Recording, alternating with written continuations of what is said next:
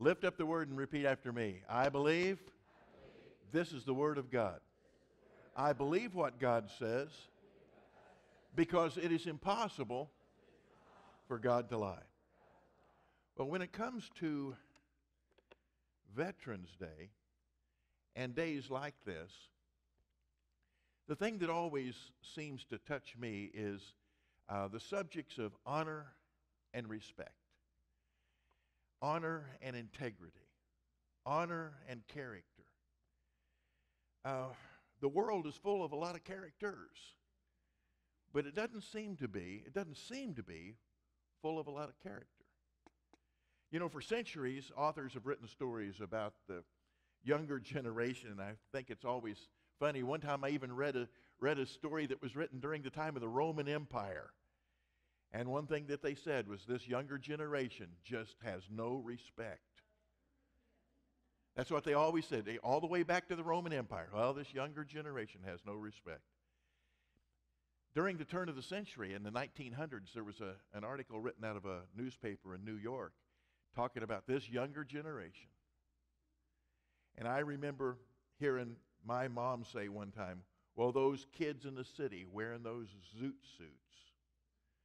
Well, I don't know if you remember what zoot suits are. Probably nobody here remembers. Oh, you remember what zoot suits are. Well, it, to the best of my recollection, every generation has its own designer clothes. In my younger generation, designer clothes was a Jimi Hendrix afro, sandals, bell bottoms, tank top, tie dyed, beads, and you were cool. You know, well, at least we thought we were. You know, but then before hippies was beatniks. Maynard G. Krebs, you know, beatniks. And before beatniks was zoot suiters. These are the guys, the way I understand it, the, the pants were real tight at the legs, and they, and they were like suits, and the, and the coats were down to here, and they had a gold chain, and they would swing that chain. You know, you've probably seen them back in the movies and didn't realize they were zoot suiters. I like them. I want one. Every time I see one, I want one. And I go down to the store and I ask for a zoot suit, and they look at me like, we don't have them here at the big and tall store. So, at any rate, every generation seems to think that it's the previous generation or the, the coming up generation, the kids. They think it's the kids that's the problem. But one thing we never seem to realize it's the adults that train the kids. You know, the kids basically they inherit what we give them. And so maybe it's just uh, the lack of respect that we show that they're picking up on. I remember one time a few years ago, there was a young guy here at the church, and his parents were off down at a store, and uh, it's not like the time where your parents left and forgot and left you at the store. I, it seems like you told me that story about something happened up in New York. But bottom line is, these the parents left, and and um, the kid needed a ride. And so I was going that way anyway, so I said, Sure, I'll take you. So we're in my car, and we're on our way down uh, Business 54, headed to the place where I'm going to drop him off. And he pulls out a candy bar. And he unwraps the candy bar and he starts to eat it. And I, I notice he's looking around. He looks around. He takes the candy bar wrapper and throws it out the window. And I said to this young guy who was in our children's church, I said, Hey, you know, you shouldn't litter. That's, that's not good. You shouldn't litter. He says, Well, Dad says if you look around and you don't see a policeman, it's okay. and I had a talk with his dad. But see, here's the whole thing. If we're training up our kids that it's okay to not do what's right as long as you don't get caught, see, that, that's not good. Character, see, character, I've heard it explained this way character is something that that people see in you. But integrity is the way you live when they don't see you. How do you live when nobody's going to know how you're living? It's a secret just between you and God. Hmm, interesting.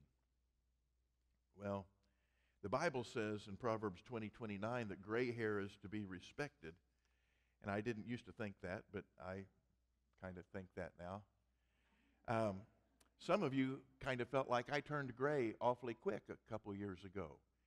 No, I just quit using, using Grecian Formula 409 or whatever it was. You know, because as much as I'd try to make my hair look the color that it originally used to be, it always kind of came out some kind of weird red. And I never was red. In fact, I was blonde. I was a natural blonde, a, a tall, skinny, if you can imagine that, Swede. My, I'm Swedish. Just, okay, look, just picture Fabio. That's kind of the way I used to be. See, and the problem is people marry people when they look like Fabio. And then time goes by.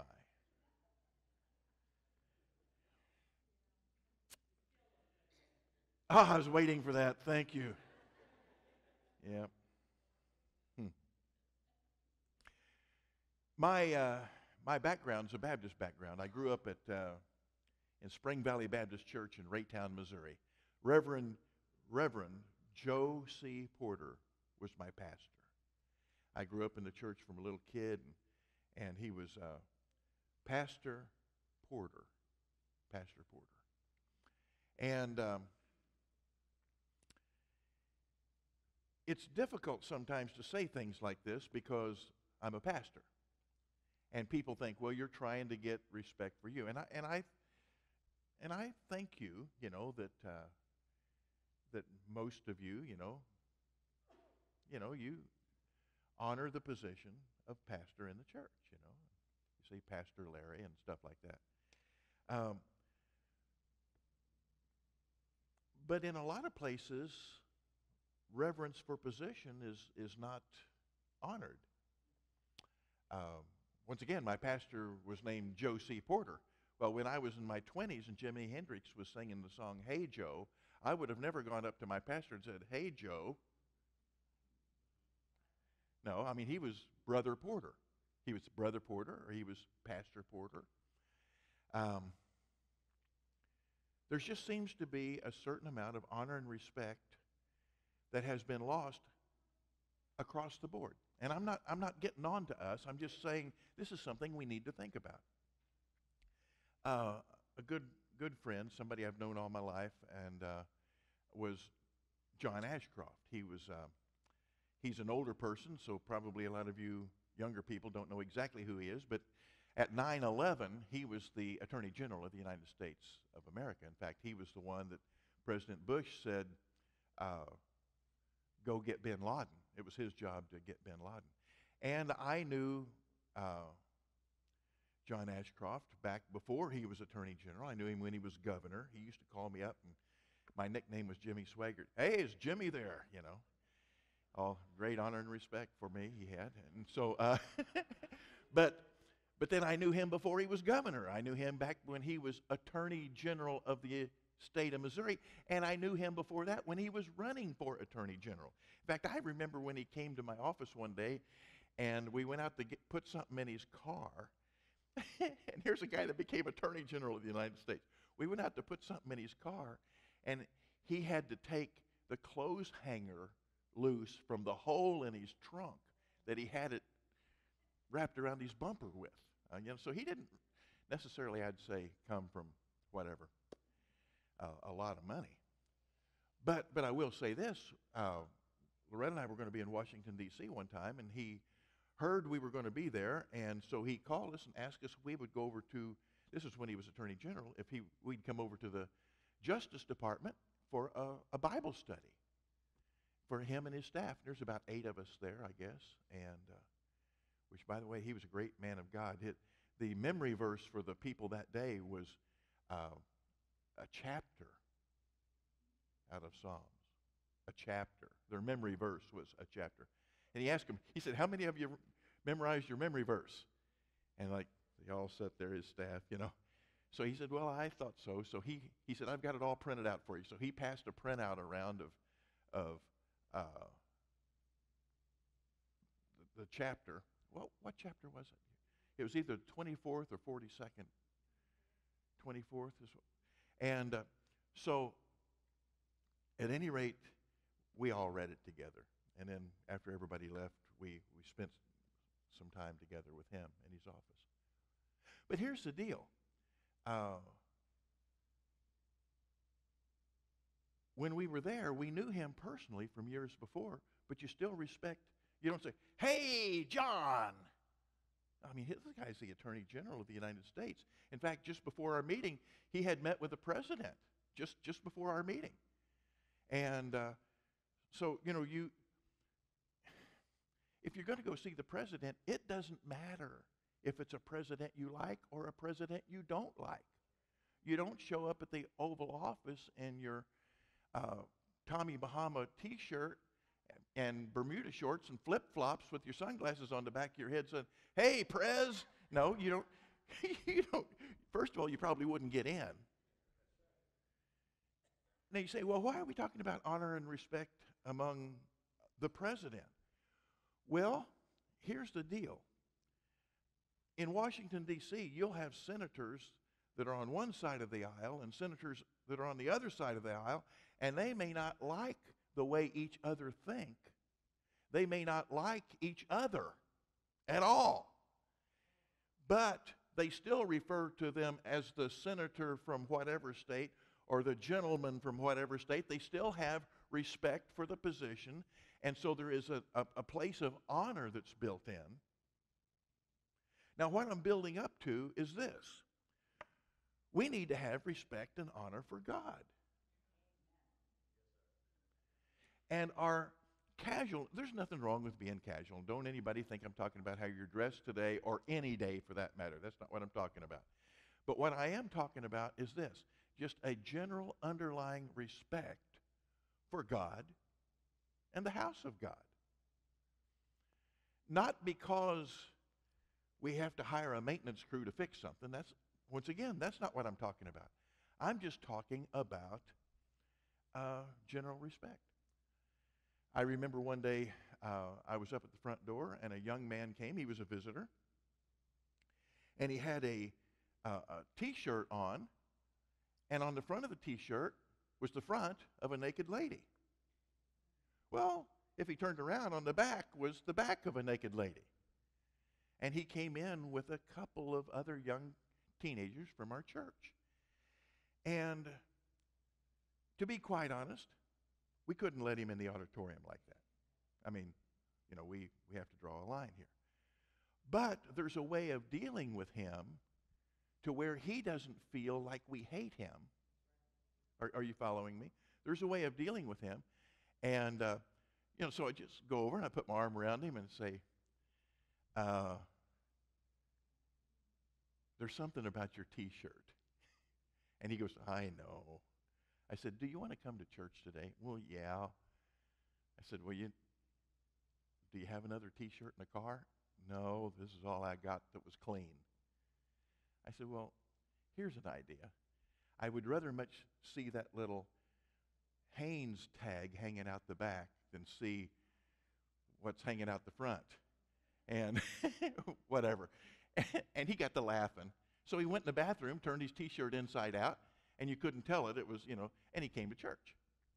Well, some people, I've related that story before, and I actually had a person say, well, you should have just let him on in. We're adults. We, you know, we've seen things like that before. We're not, well, you just reach a point where you have to have honor and respect for the house of God there's, there's a line that can be drawn. And in the Bible, in the Bible, there are places where people cross that line, and it wasn't real healthy for them. So I think, and this is one thing I love about this church and about this congregation, is there seems to be a lot of respect for God. Now, there's all kinds of honor and respect things going on in our nation right now. And um, it's, it's difficult when you look at the issues, but I think that whether you like some things or don't like some things, there needs to be a general consensus of this is who we are. And we, we are in a nation. Loretta and I have traveled to a lot of nations. Uh, sometimes our trips get scheduled way out there. In fact, we have a trip now going to Australia and New Zealand scheduled for 2019. I mean, this, this is how far out some things get scheduled. And we've been in a lot of other countries. And let me tell you something. We have freedoms here that we take for granted. I say, there are freedoms here we really take for granted.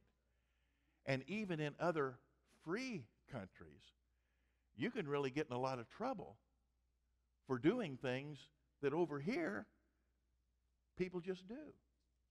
You know, in Singapore, if you chew gum and throw it on the ground, you can be arrested. You say, oh, that's silly. Well, it may be silly to us, but it's not silly to the people in Singapore, and there are people in jail because of it.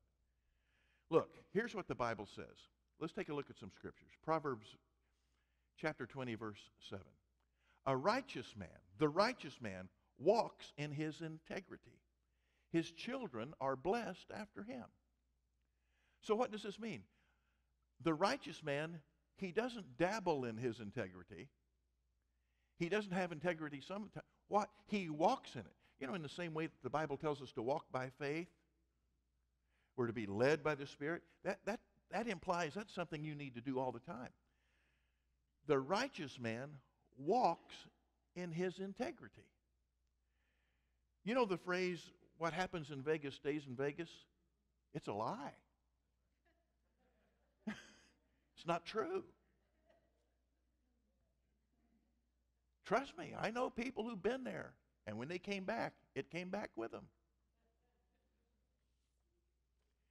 The previous generation knew how to walk in integrity. I like to collect old things. And uh, when I was a kid, you, you, didn't know this, but when I was a kid, I used to collect postcards. Yeah. I, but uh, the Gonseths gave me this postcard today because they knew I liked to collect old things. And uh, I collected all you guys. um, but it's a postcard from 1940. Interesting, isn't it? A postcard from 1940. What it reminds me of when I see these old postcards like this is how the young people of that generation gave so much honor and respect to the freedom that they had. Now, Loretta's dad, at the age of 17, lied about his age. He lied about his age so he could go and fight in the, in the war, World War II. Now, why would somebody do that? You know, now in my generation, people would lie about their age so that they wouldn't have to go to war. I'm serious.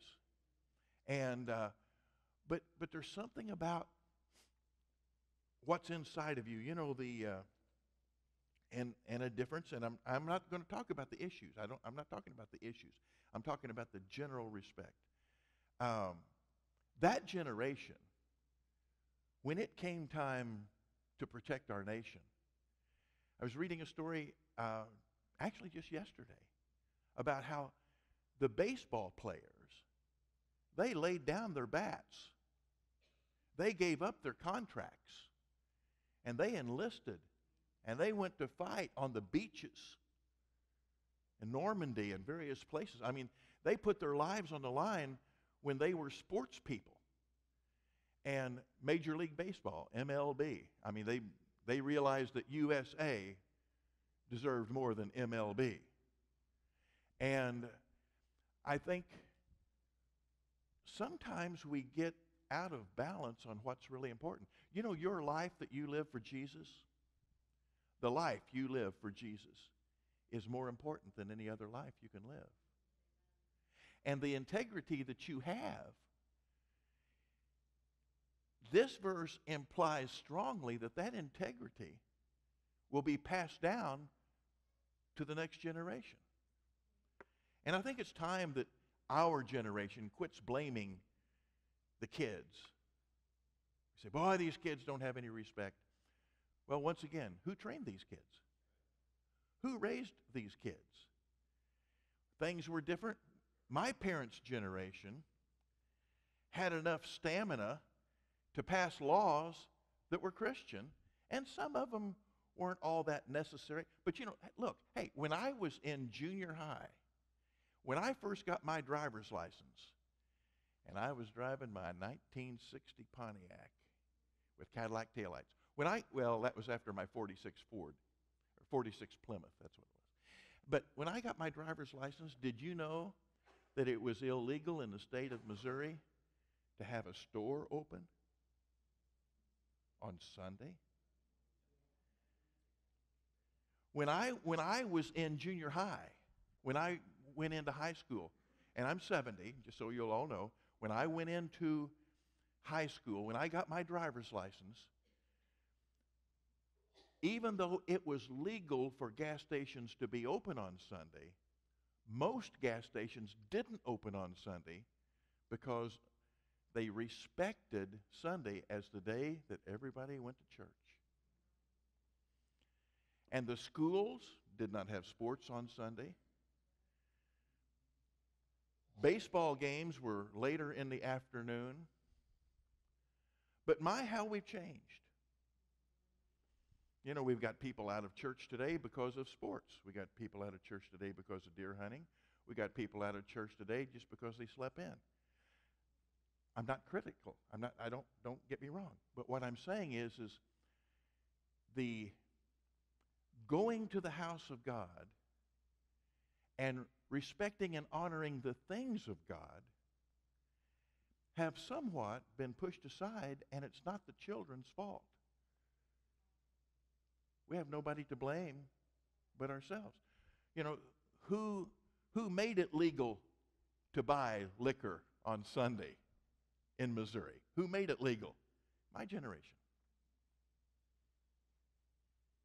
So,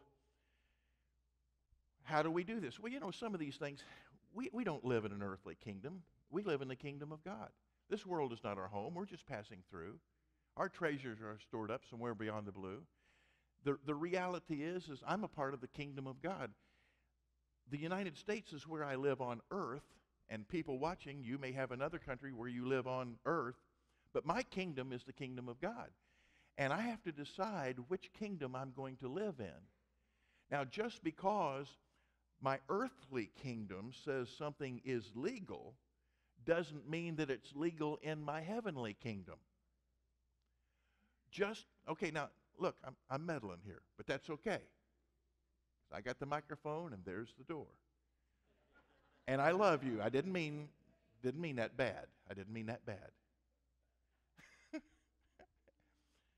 but just because the government says it's legal to do certain things doesn't mean that it's not a sin in the eyes of God. And just because the government says this is okay doesn't mean it's okay for you if you're in the kingdom of God. Because we actually have a higher standard and we have a rule book that takes us a step holier than any earthly rule book. We've got to decide which constitution we live by. We give respect to the earthly constitution because the Bible says we need to pray for our leaders. Right now, our, our president is Trump. Before Trump, it was Obama. Before Obama, it was Bush. It doesn't matter if you're a Bush lover or hater, an Obama lover or hater, or a Trump lover or, lover or hater. Irrelevant. You, as the church, are required to pray for the leader of our nation. And if we don't, we're not honoring our Constitution. You see? So, the Bible also says that we're accountable for our words. And have you ever stopped to think that if you have a president, once again, we just go back three, we'll just say whether it's Bush, Obama, or Trump, and you have a president, and you constantly say, This guy's an idiot. He is stupid. He'll never amount to anything. He's going to get us into trouble. He's going to get our nation into debt. He's going to get us into war. You ever stop to think that you are a speaking spirit, and according to the Bible, you get what you say? Quit cursing the leaders, whoever they are, whether they are your party or not. Quit cursing them and bless them. Say, why should I do that? Because the Bible says, our Constitution says, that's the way we live. We actually, we actually love our enemies. You may not agree with your enemy. You may not, that doesn't mean you got to vote with your enemy. But you got to love your enemy. And you give honor and respect to the position, whether you agree with them or not. There are senators that I have met that I really don't like them. I'm not going to mention any names, but we've sat in the office of some senators in Washington, D.C., that it just almost makes your stomach turn.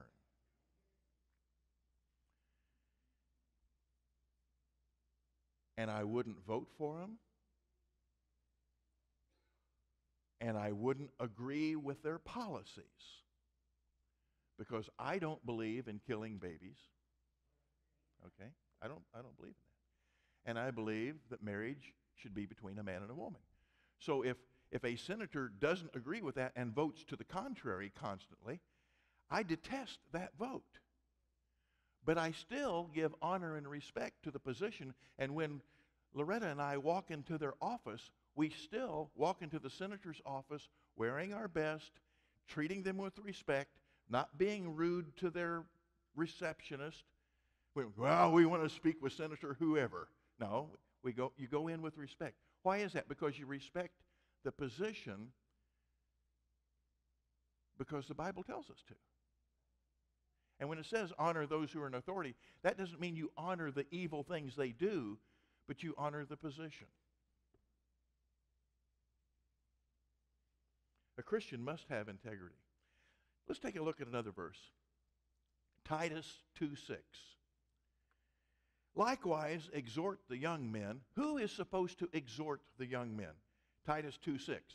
Who is to exhort the young men? I mean, the implication is it's not the other young men, it's the older guys like Jerry and me and Terry, and just go around the room, all of us who are above 40. But exhort the younger men to be sober minded. Now, that's not talking about telling them, don't take a drink. No, that's sober minded. That means that think straight. Don't get caught off into some weird way of thinking. Be sober minded. Now, verse 7 In all things, showing yourself to be a pattern of good works. Well, this tells us how we train these young men. Now, I respect Terry. I respect his son. But you can see that his son's been trained by a man of God. And I've known Terry for many years, and I can tell you this he lives his life doing a pattern of good works. Well, what does the Bible call good works? Um, you know, remember, Jesus said, Let your light so shine before men that they will see your good works. Well, if you, if you research that out, good works in the Bible means that you're obedient to the Word of God. So show yourself to be a pattern of good works. Now, what does that mean? Why does it have the word pattern in there?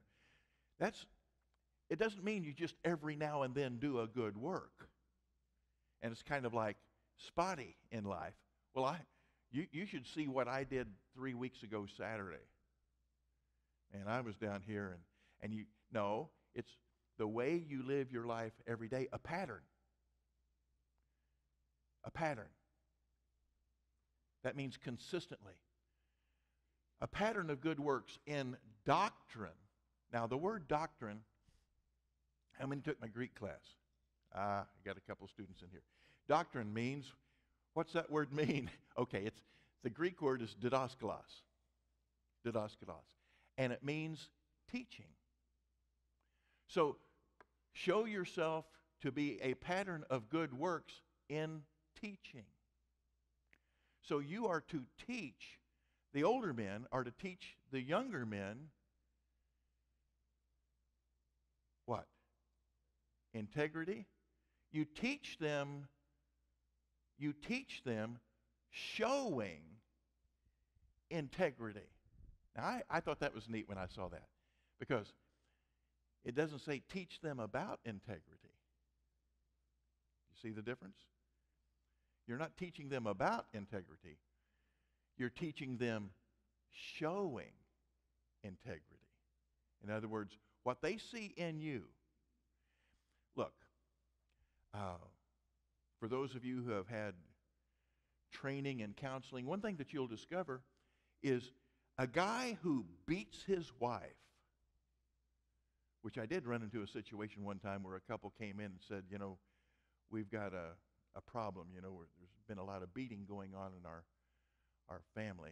And I, I looked at the man and I said, uh, I said, have you, how long have you been doing this? All your life? And he said, it's not me, it's her. she was little. Let me tell you something. I learned that day that little women can beat the tar out of you. He had bru- he had that guy he was a big guy, he had bruises all over him. Okay.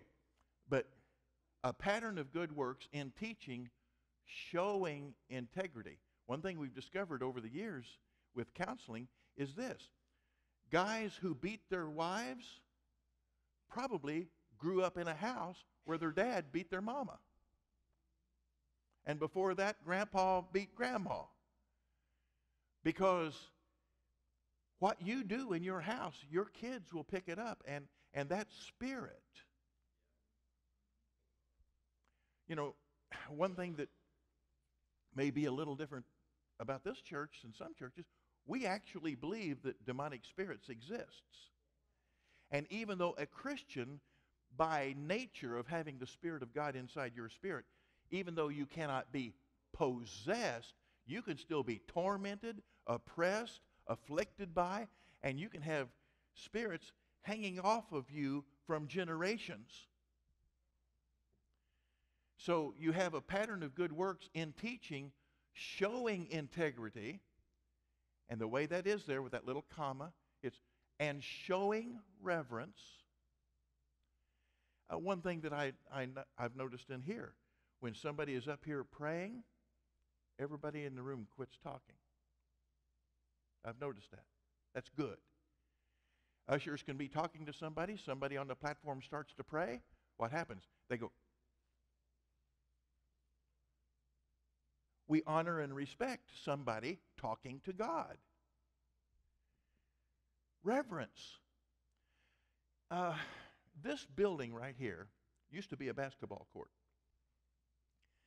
And it just has wood and steel and concrete holding it together. There's nothing holy about the materials that put this thing together.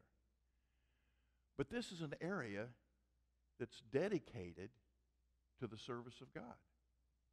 It's an area that's been consecrated and we, we call it our sanctuary. We call it our auditorium. We have different names for it. But the reality is, uh, and I catch myself in this too,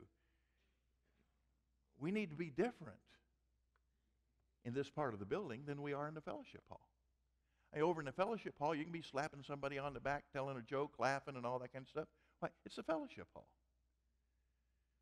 But when we've got ministers up here ministering at the end of the service and praying for people, and I've noticed this, and I like this. Everybody kind of keeps it down. They realize ministry is going on, and they slip out to an area where they can talk. Well, once again, the materials in this building are no different than the materials on the other side of the building, but there are areas in our life where we need to have reverence, where we need to have respect.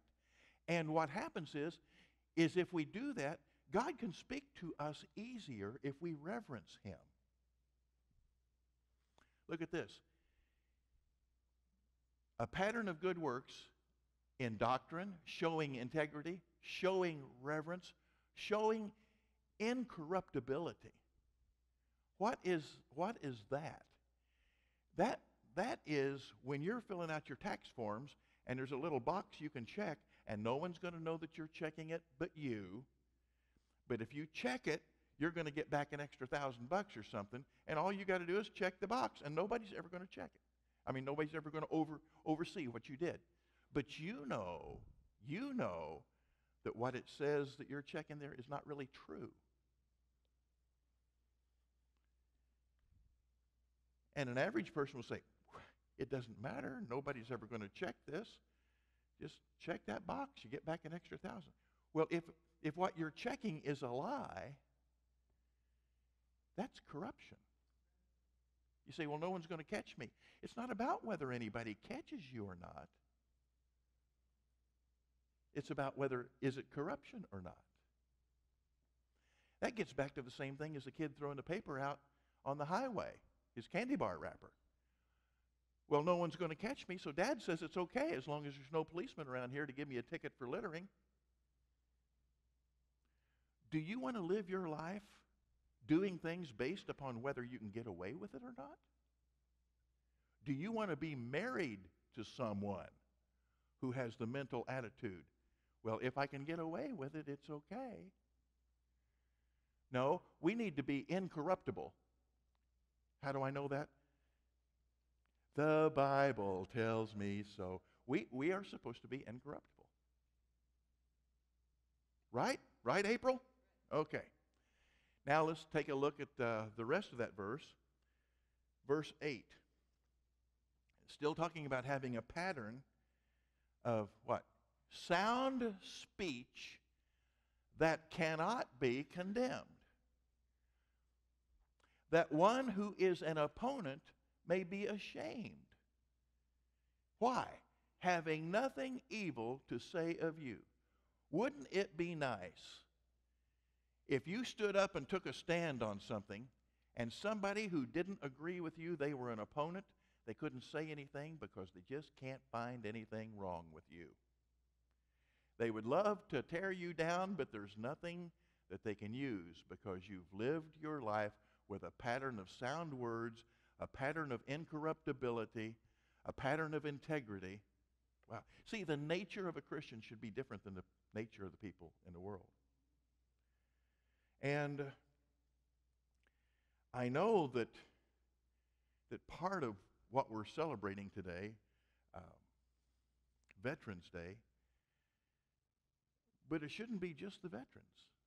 We should, we should have honor and respect for mankind.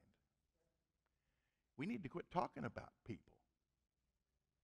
We need to quit doing things that we can get away with just because we can get away with it. You know, if you're going to get that extra thousand dollars because you told a lie and you checked that box, were you going to tithe on that thousand dollars that you stole?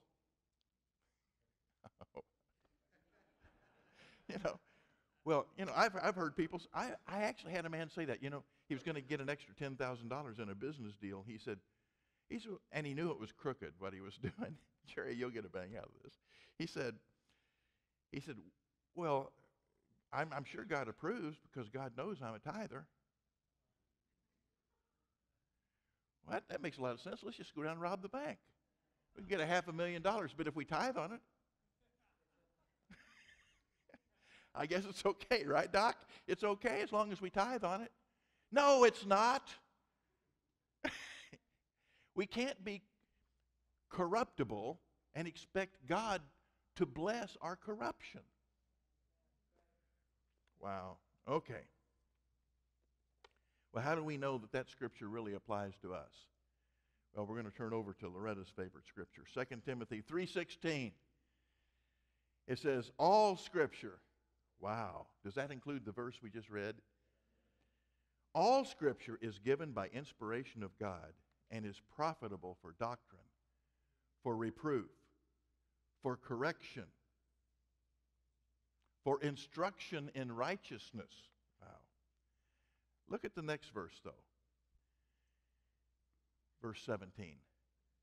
That, Now, the way we would say it here in the Ozarks is so that, so that the man of God, and that means woman of God too, that's so that the person of God may be complete, thoroughly equipped for every, look what it took us back to, for every good work. Wow. Praise God. Okay, well, um, I thought I was completely done until Penny Maroney, in the, on, sitting on the back row, held up her offering envelope and waved it around. Ah, several of you have. So we will receive our offering, all right? And um, if you have recently robbed a bank, do not tithe on it. We, we don't, well, no, go ahead. go ahead. We'll, we'll pray over it. We'll put it to good use. ah, what did you learn anything today? You know, the Word of God is just so full of truths. And sometimes we think we're just sailing along and we're doing so great. And, and by and large, you know, the, the people of this church and our congregation, we, we have a good life and a lot of good things are happening. But we, we cannot ignore honor and respect for each other. We can't. And we cannot ignore honor and respect for God and the things of God. And I, I know my generation, while you're getting your offerings ready, I'll just tell you this. My generation was probably one of the worst.